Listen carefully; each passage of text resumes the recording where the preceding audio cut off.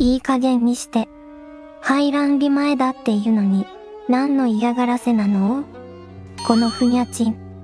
あんた、子供なんて欲しくないんでしょう。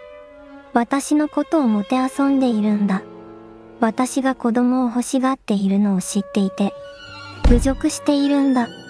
私、今年で40歳になるのよ。う、うぐ、ぐすん。ラストチャンスなのに。ひまり、ごめんなのだ。ごめんで済むか、ふにゃふにゃ野郎。私を騙したな。騙して結婚したな。嘘つき、詐欺師、ミソジニスト。私がババアで、焦っているのが分かってて。その弱みにつけ込んだんだ。違うか、違うか。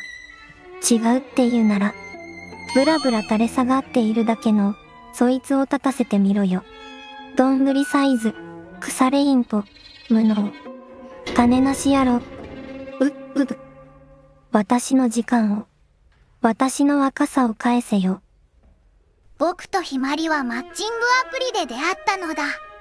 子供が欲しい。一緒に子供を育てたい。お互いの意思を確認して結婚したのだ。でも僕は結婚後、インポテンツになってしまったのだ。妻は裏切られた、騙されたと憤慨し、精神が不安定になり、酒を飲んでは僕に暴力を振るうようになったのだ。僕たちは一度もシックスをしないまま、半年で離婚したのだ。それから彼女は、理解があって、優しくて、バリカタギンギンチンポの男とすぐに再婚し、待望の子供を産んだのだ。